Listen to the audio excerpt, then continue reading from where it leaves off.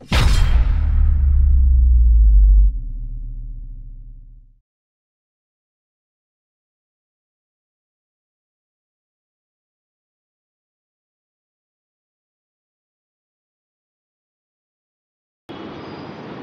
আমাদের, আপনারা জানেন, গত দোসরা মার্চ আমাদের বাংলার, আমাদের সর্বোচ্চ নেত্রী, বাংলার গর্ব মমতা ব্যানার্জি আমাদের যারা জনপ্রতিনিধি যারা মূল নেতৃত্ব সারা বাংলার নেতৃত্বকে ডেকেছিলেন ডেকে আমাদের হাতে একটা আমাদের বাংলার গর্ব মমতা ব্যানার্জির একটা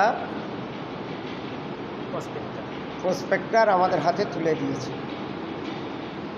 সেই যে অত্যাচার হয়েছে সাধারণ মানুষের উপরে যে নির্যাতন অত্যাচার খুন হয়েছে তার প্রতিবাদে নরেন্দ্র মোদী শাহর আহ, পদত্যাগের দাবিতে আমরা বিশাল আকারে মিছিল করেছি। অনুরূপভাবে আজকে আমরা সারা পাঁচ লাখ পনেরোটা গ্রাম পঞ্চায়েতের জনপ্রতিনিধি প্রধান আমাদের দলের সভাপতি দলের মূল নেতৃত্ব এবং আমাদের জেলা পরিষদের চারজন নির্বাচিত সদস্য সদস্যদের নিয়ে প্রধানদের নিয়ে আজকে আমরা একটা কর্মসূচি করলাম। কর্মসূচি করার আগে সর্বপ্রথম আর আমরা ভারতের সংবিধান প্রস্তাবনা করেছি। তার মাধ্যম দিয়ে আমরা আমাদের মুখ্যমন্ত্রীর নির্দেশ মতো আমাদের অভিষেক ব্যানার্জির নির্দেশ মতো কিছু প্রসপেক্টার আমাদের হাতে ধৈর্য দিয়েছিল। যেমন এটা দিয়েছিল, এটা হচ্ছে মূল ছিল। এ থেকে সারা বাংলায় আগামী দিনের প্রোগ্রামগুলি সব দেয়া আছে। তার মধ্যে আমাদের, আপনাদের সঙ্গেও এই প্রোগ্রাম ছিল। সাংবাদিকদের সঙ্গে সম্মেলন করতে হবে এবং আগামী চোদ্দ তারিখেও করার কথা আমাদের বলেছেন। সাংবাদিকদের নিয়ে পনেরো তারিখে যেমন আমাদের বলেছেন যে, যারা মমতা, বাংলার গর্ব, মমতা ব্যানার্জির কর্মসূচি, আজকে আমরা সফল হতে চলেছি। আমরা প্রথম আমাদের প্রত্যেকটা পঞ্চায়েতের সদস্য, সদস্যা, প্রধান, উপপ্রধান এবং দলীয় সভাপতিদের কাছে এই বার্তা আজকে পৌঁছে দেওয়া হলো যে বাংলার মুখ্যমন্ত্রী যে বাংলার গর্ব মমতা ব্যানার্জি যে নির্দেশ দিয়েছে, যে কর্মসূচি দিয়েছে, সেই কর্মসূচি আমরা গ্রামের স্তরে একেবারে তৃণমূল স্তরে আমরা পৌঁছে এই কর্মসূচি পঁচাত্তর দিন চলবে।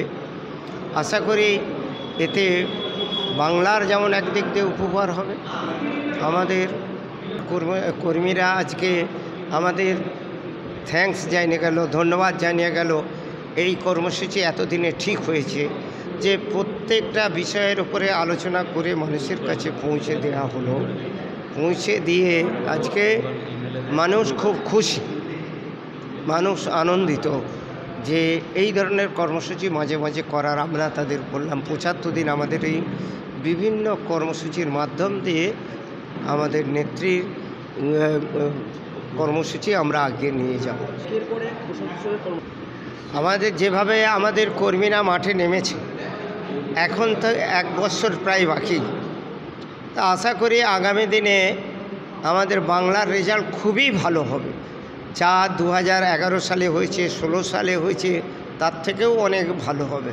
যেটা বিগত দিনে যেমন মানুষ বলেছিল, নবান্ন থেকে হাওয়াই চপ্পল সরে যাবে, সেদিনে কিন্তু বাংলার মানুষ মমতা ব্যানার্জিকে বঞ্চিত করেনি। দুশো এগারোটা সিট নিয়ে বাংলার নবান্নে আবার নিয়ে এসেছিল এবারে আরও অনেক বেশি, আমরা আশা করি আড়াইশোর ওপরে সিট নিয়ে কর্মসূচি। এই কর্মসূচি এবং ধারাবাহিকভাবে যে কর্মসূচি এখন থাকতে দিয়েছে কর্মীরা এতে উৎসাহিত।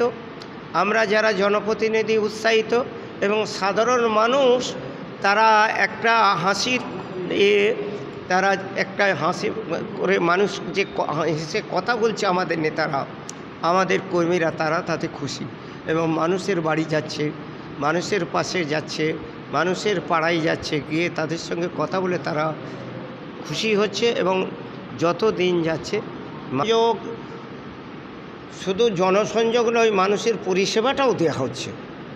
আজকে যেমন বলেছে, তফসিলি মানুষদের এবার আরও বেশি বেশি করে বিভিন্ন প্রকল্প থেকে থেকে মানুষ পরিষেবা পাচ্ছে। যেটা বিগত দিনে ছিল, এখন আরও বেশি পাচ্ছে এবং আরও পাবে।